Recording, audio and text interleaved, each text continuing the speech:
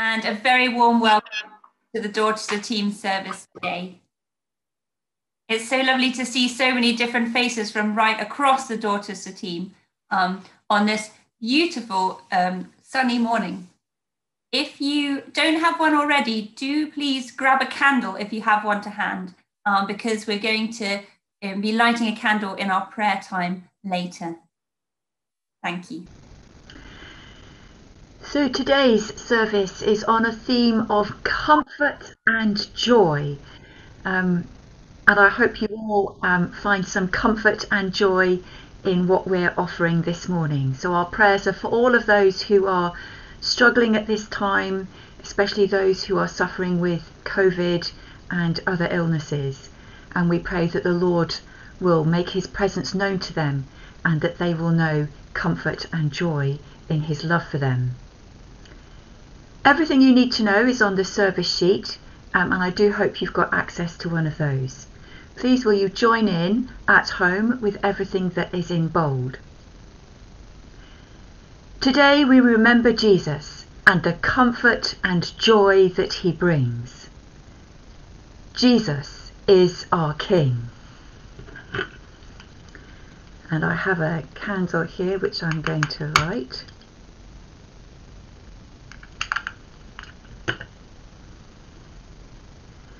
Jesus is the light of the world.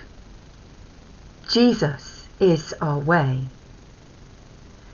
With Jesus, even dark places are light. Jesus is the truth. In Jesus, we shall live forever. Jesus is our life. We move to a time of confession now. Christ, the light of the world, has come to dispel the darkness of our hearts. In his light, let us examine ourselves and confess our sins.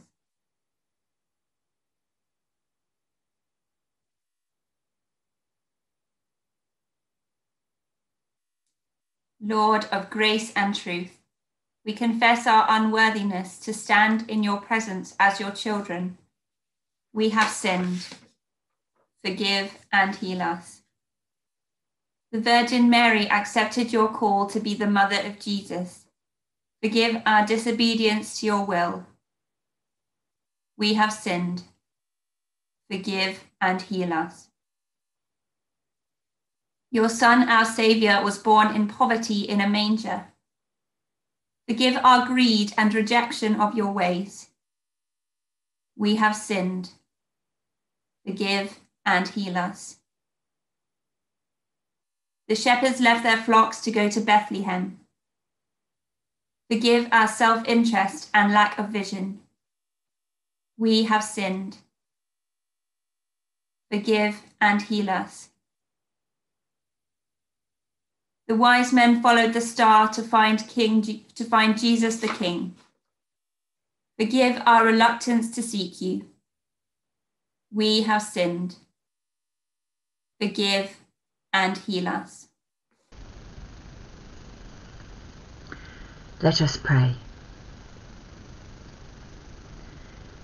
Eternal Lord, our beginning and our end, bring us with the whole creation to your glory hidden through past ages and made known in Jesus Christ our Lord. Amen.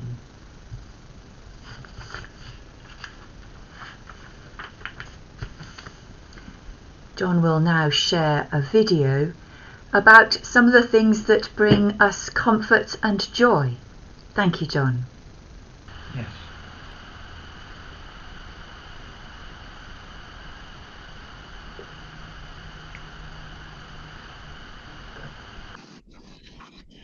So, hello, Rafna. How lovely to see you, and thank you so much for contributing to our service this morning. Um, I wonder if you could tell us a little bit about what brings you comfort and joy. Good morning, Teresa. And I think one of the things that brings me comfort and joy, obviously, is being able to be in touch with friends And when we're at home, we have each other.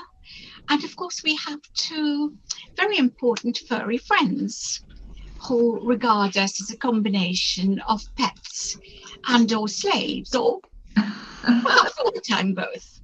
Lockdown means so many different things to each of us.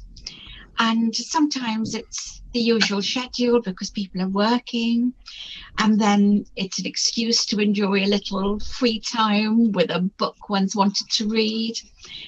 And for some people, I know because I have had friends uh, say to me, it's so terrifying, this loneliness. But we do get comfort and joy from other people, and especially our little furries. Some of us have young and very young children, disabled, slightly frail family, and they have their continued routines. It's no different for them. And then, of course, we have these slave drivers who are delighted to have more time to supervise us. And, you know, they, they make us come and play with them, which is wonderful. And Tiger and Quincy, awake or asleep, present or busy with their own agendas, keep a check on us. Got a few pictures to show you, just to give you a little glimpse of our everyday life here.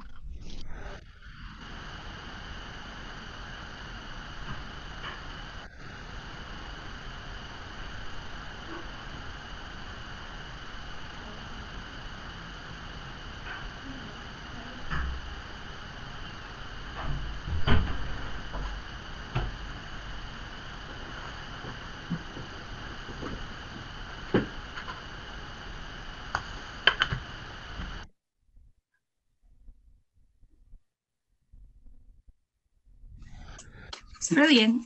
Thank you. Thank you so much for sharing that with us. So we're thinking about comfort and joy um, this week. So how has how has your baking brought you comfort and joy, first of all? Well, for one thing, it's probably it's a way of giving to others, um, especially when the family was at home. Um, I enjoy cooking because it, it brings pleasure to others, uh, and it and I just I just like the whole experience of being able to give in a in a practical way, and um, and I just and it just it's a time when I can lock I can just block off and do it. So yes, so Thank that's you. how. Yeah. So it's brought a lot of comfort and joy to others as well.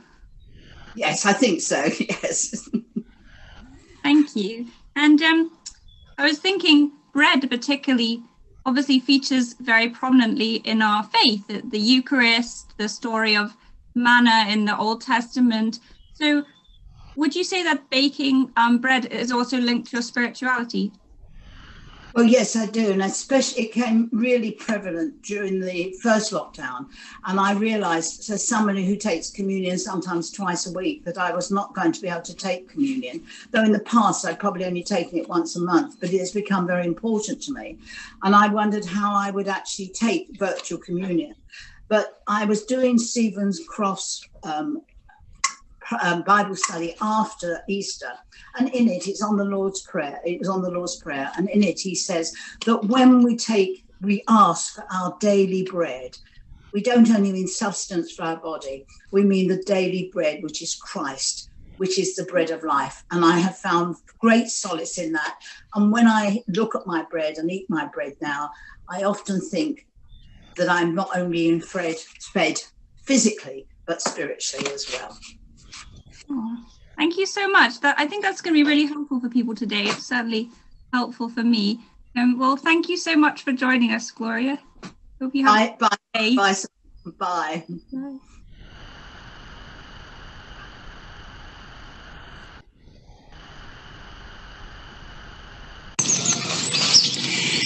So, hello everybody. Here we are at Drayton St Leonard Churchyard, um, and it's a lovely day, thank goodness. Um, you may hear some helicopters, but that's all to the good. And I'm here with Charles. Hello, Charles. Hi, Who- Teresa. Hello.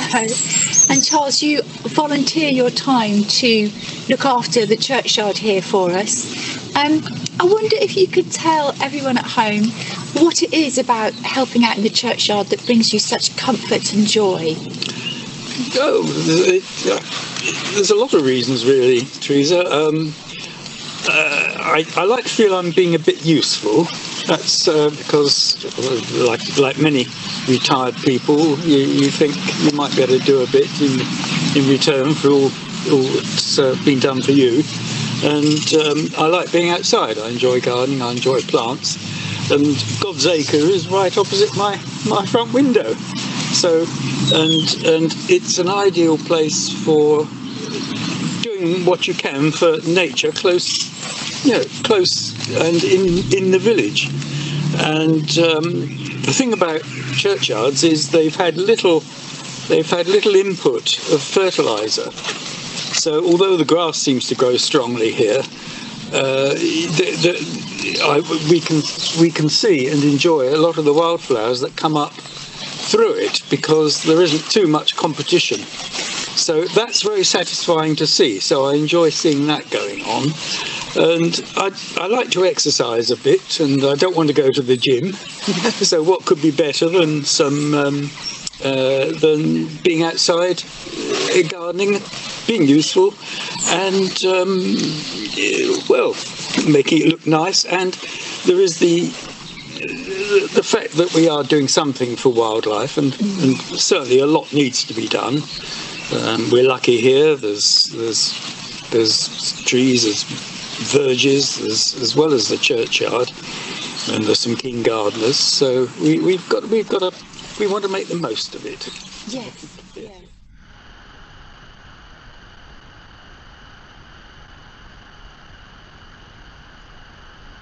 Hello, Jean.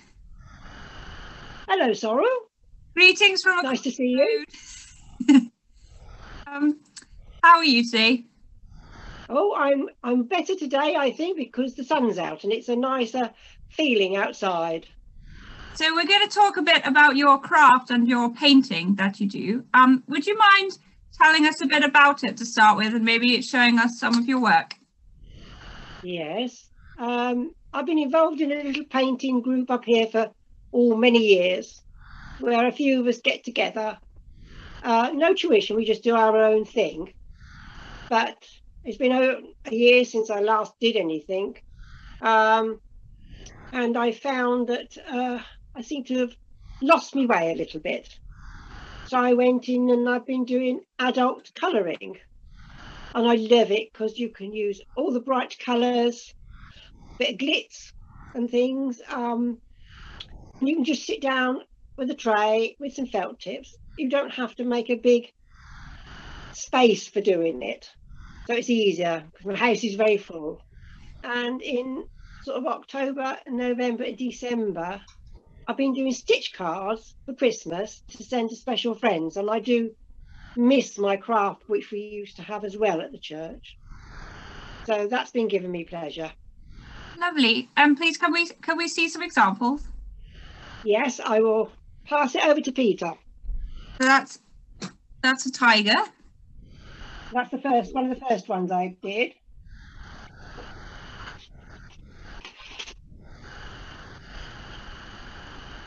Oh. That's Broadway in Gloucestershire. Beautiful.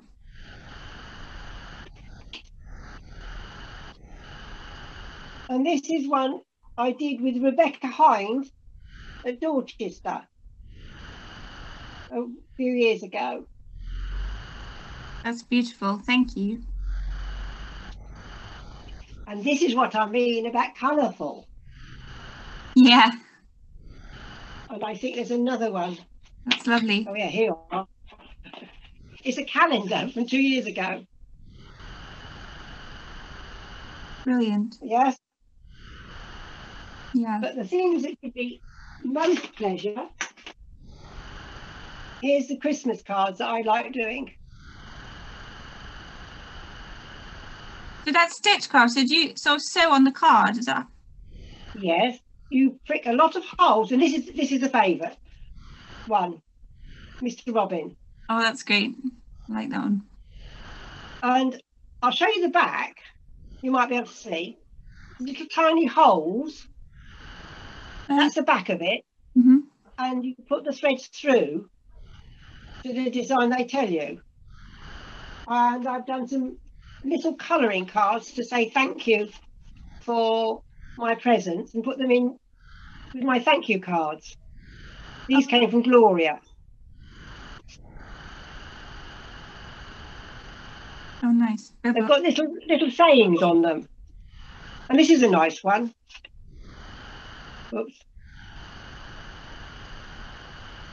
But I've had to have a steadier hand. They're very small. Yeah. But, oh, there's the other one. I knew there was a nice, really nice, pretty one. Oh, yeah. That's really detailed. It is, isn't it? I've had to find some fine pens Yeah. and sit still. um, but it's I like doing the cards, and I shall next month I've got three birthday cards to make, so I should do more stitch cards. I like that, but I do miss the craft meetings. We used to try new things at it. So your your cards and your art, they bring you comfort and joy, but they also bring comfort and joy to other people, would you say? Yes, because I get nice thank yous when I've done them, and if there's the special friends, it's nice that they they like them too. And I know one of my friends, she she's got a row of them in her house that I've sent her over the past. Yes, yeah, Lovely. So it's kind It's of a mutual blessing, I guess. yeah, Yeah. yeah. And some of them link, I suppose, to your faith because some of them have kind of Bible verses on and, and things like that. That was Gloria. She gave me those because I told her I'd lost my way with painting. She saw these, and her, I used to do painting with her husband, with John. He used to belong to our class, and we used to. In fact, he gave me a lot of his old paints and bits and pieces. It was lovely. I'll get back there one day, I think, but uh, we'll see. Oh, well, thank you so much for sharing that with us, Jean.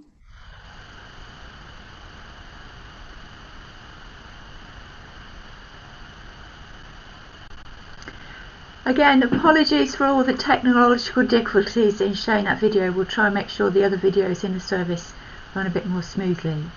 But now I think I'll hand over to David for our first reading. This is a reading from the first book of Samuel. The boy Samuel was ministering to the Lord under Eli. The word of the Lord was rare in those days, visions were not widespread. At that time, Eli, whose eyesight had begun to grow dim so that he could not see, was lying down in his room. The lamp of God had not yet gone out, and Samuel was lying down in the temple of the Lord, where the ark of God was. Then the Lord called, Samuel, Samuel. And he said, Here I am. And ran to Eli and said, Here I am, for you called me. But he said, I did not call. Lie down again. So he went and lay down. The Lord called again, Samuel. Samuel got up and went to Eli and said, Here I am, for you called me. But he said, I did not call my son. Lie down again. Now Samuel did not yet know the Lord, and the word of the Lord had not yet been revealed to him. The Lord called Samuel again a third time, and he got up and went to Eli and said, Here I am, for you called me. Then Eli perceived that the Lord was calling the boy. Therefore Eli said to Samuel, Go, lie down, and if he calls you, you shall say, Speak, Lord, for your servant is listening. So Samuel went and lay down in his place. Now the Lord came and stood there, calling as before, Samuel, Samuel. And Samuel said, Speak, for your servant is listening. This is the word of the Lord. Thanks be to God. Thank you, David. So we now have uh, the set psalm to share with you. This is Psalm 139. Um, Lord, you have searched me and known you. A lot of people will identify this as their favourite psalm because of the words of comfort that it brings of God's presence in our lives. Unfortunately, I was unable to record or video David and Jill um, doing this psalm for us. So I've got an alternative version to share with you. Um, I'm just going to pop the um, chorus in the chat. So if you fancy joining in with the chorus, it's there in the chat now. So if you fancy joining in with the chorus as you listen to this video, please do so at home. Um, and the psalm starts with the chorus. So I'm going to attempt, fingers crossed everybody, that we don't have any more mishaps. I'm going to attempt to share the video with you now. Yahweh, I know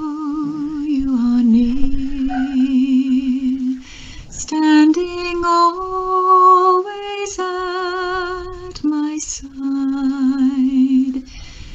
You guard me from the foe, and you lead me in ways everlasting. Lord, you have searched my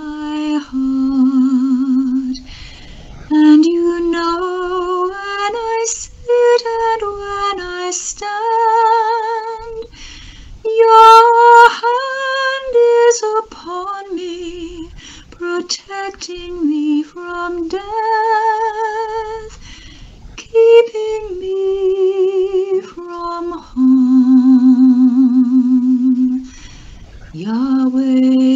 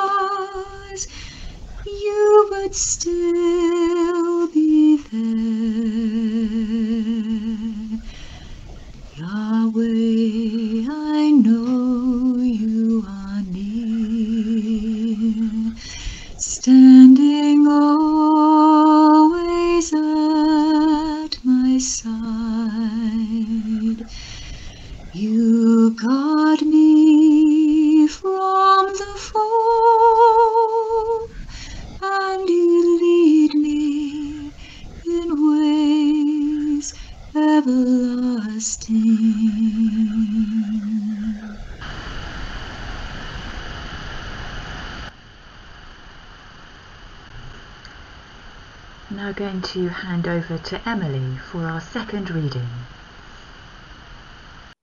Our Gospel reading is from the Gospel of John, chapter 1, verse 43. The next day, Jesus decided to leave for Galilee. Finding Philip, he said to him, Follow me. Philip, like Andrew and Peter, was from the town of Bethsaida. Philip found Nathanael and told him, We have found what the one Moses wrote about in the law, and about whom the prophets also wrote, Jesus of Nazareth, the son of Joseph. Nazareth, can anything good come from there? Nathanael asked. Come and see, said Philip. When Jesus saw Nathanael approaching, he said of him, Here truly is an Israelite in whom there is no deceit. How do you know me? Nathanael asked. Jesus answered, I saw you while you were still under the fig tree before Philip called you. Then Nathanael declared, Rabbi, you are the Son of God. You are the King of Israel. Jesus said, You believe because I told you, I saw you under the fig tree. You will see greater things than that. He then added, Very truly, I tell you, you will see heaven open and the angels of God ascending and descending on the Son of Man. Here ends the Gospel reading. May my words give glory to God, Creator, Redeemer, and Sustainer. O Lord, you have searched me and you know me. Even before a word is on my tongue, O Lord, you know it completely. God knows us and God sees us. But sometimes it's not easy for us to see God. When God calls Samuel, Samuel is confused. He doesn't realize that it's God who is calling him. But God is calling us. God sees Nathanael sitting under the fig tree and he calls him to join the great adventure of following Jesus. And God sees us this morning in our living rooms or in our offices, with family or alone. God sees us and God calls us today. God sees us get up, bake bread, feed our pets, do craft activities, and work in the garden. God sees all the things we do, and He loves us beyond measure. God sees us, God loves us, and God calls us. Sometimes that calling is dramatic and life changing, a major change of direction or a big adventure. But most days, it's just the call to keep going. Keep living lives of abundant love and hope, safe in the knowledge that you are perfectly known and infinitely loved by your Creator. Do the small things each day that bring you comfort and joy, and do them with a heart overflowing with thankfulness as a praise offering to God and think about how you can bring comfort and joy to others, how your unique gifts can be a blessing to other people and to the world. Keep doing the small things that bring comfort and joy to others. They matter. Don't stop. Don't give up. You, in your complexity, your vulnerability, your uniqueness, you are a blessing to this world keep living out that calling in the name of Christ. Amen. Thank you, Sorrel. Thank you so much for those words. So let's now affirm our faith in our God, in whom we find comfort and joy. So I ask, do you believe and trust in God the Father? source of all being and life, the one for whom we exist. I believe and trust in him. Do you believe and trust in God the Son, who took our human nature, died for us, and rose again? I believe and trust in him. Do you believe and trust in God the Holy Spirit, who gives life to the people of God and makes Christ known in the world? I believe and trust in him. This is the faith of the Church. This is our faith. We believe and trust in God, Father, Son, and Holy Spirit. And I now hand over to Sorrel, who's going to lead us in prayer. We're going to try something a bit different for our prayer time today. If you have a candle to hand, um, would you please light it now to help us focus on our prayer time?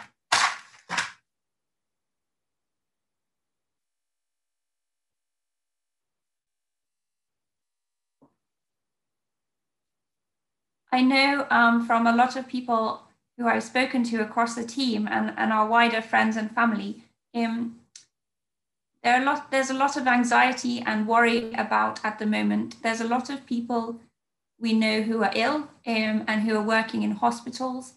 Um, so I thought what we'd try today is some intercessory prayer where if there's somebody on your heart who would, you would like to pray for, if you'd please type, type their name into the chat, take your time um, and type their name, and I'll read out those names and we'll all pray for those people together.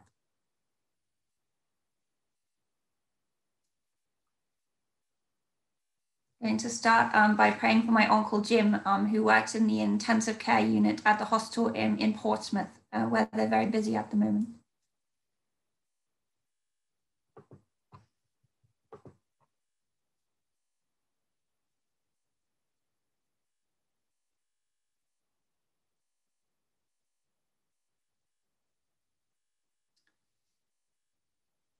We lift up to you, God, Roy and his family, because their son Robert has died tragically. We lift up Nike, I'm not sure if I'm saying that correctly. We lift up Leanne and everyone in hospital um, who doesn't have COVID but who needs hospital care. We pray for Reese and Ceres who are struggling with anxiety and sleeplessness. We pray for Sophie, for Ziggy, whose stem cell replacement operation has been postponed. Pray for Sarah McDowell working at the Royal Berkshire Hospital.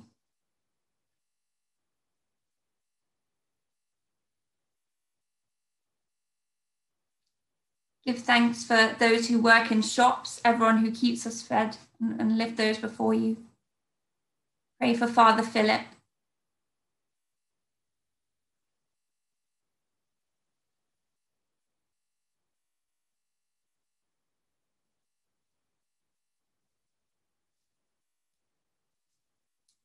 give a couple of more minutes for anyone else's prayers. We lift up to you, teachers.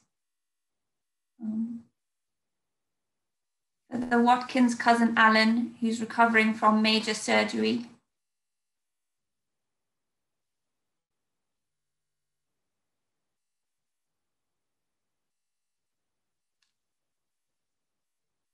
Or Caroline's Auntie Hazel, recovering from COVID in Liverpool for Jane and Alice and all those working to keep our hospitals running.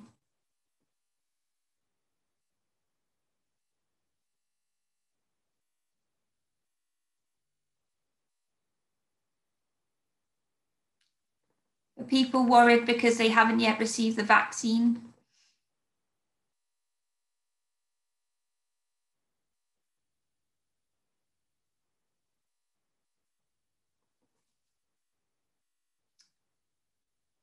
Catherine's dad and all those who are living alone and are far from family.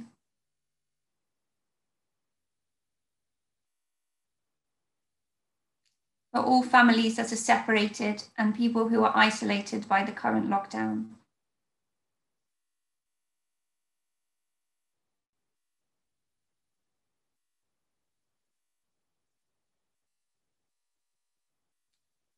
And in the silence of our own hearts, we lift up all those prayers that are known to us and to God.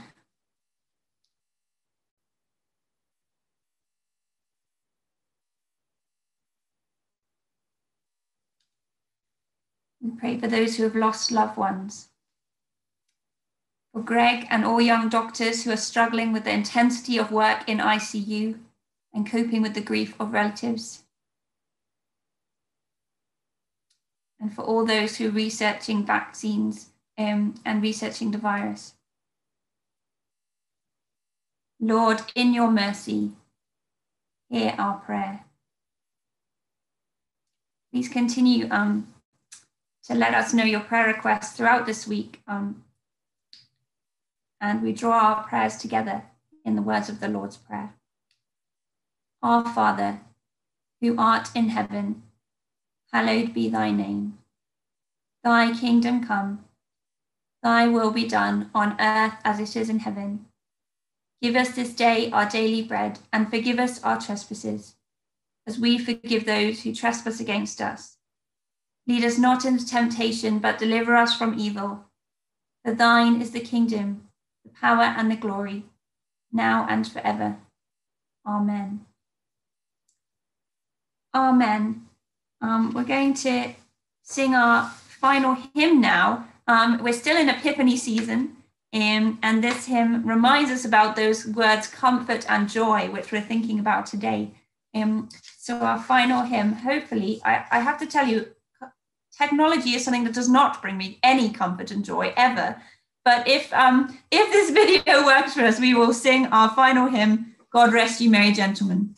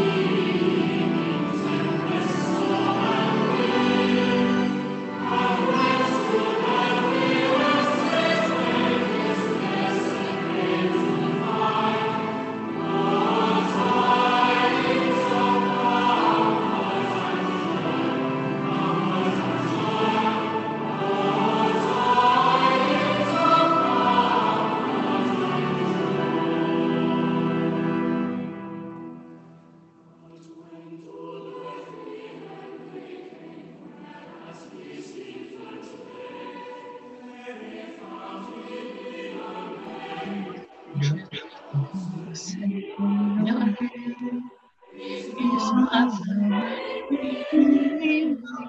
until the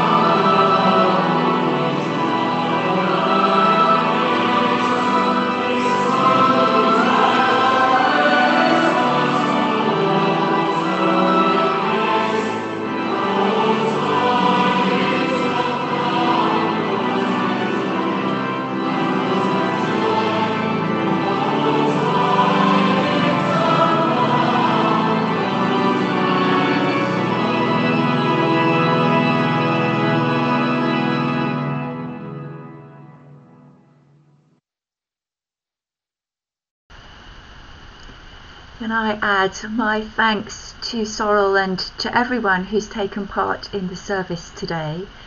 And can we say an especial thank you to all our uh, folk who support our technology, to all of those who've created things uh, technologically wise for the service, to Jennifer for those wonderful slides, um, and especially to Sue and to Nick and to John who've helped and supported the technology we're all learning and we all make mistakes and um, it's still worship for our Lord and is it always acceptable in his sight. So can I finish the service offering you God's blessing? Let us pray. May the light of the glorious gospel of Christ shine in your hearts and fill your lives with his joy and with his peace and the blessing of God Almighty, the Father, the Son, and the Holy Spirit be upon us and remain with us now and always. Amen. So I think Sue's now going to uh, put us all into coffee groups. Do go and grab yourselves a coffee if you can.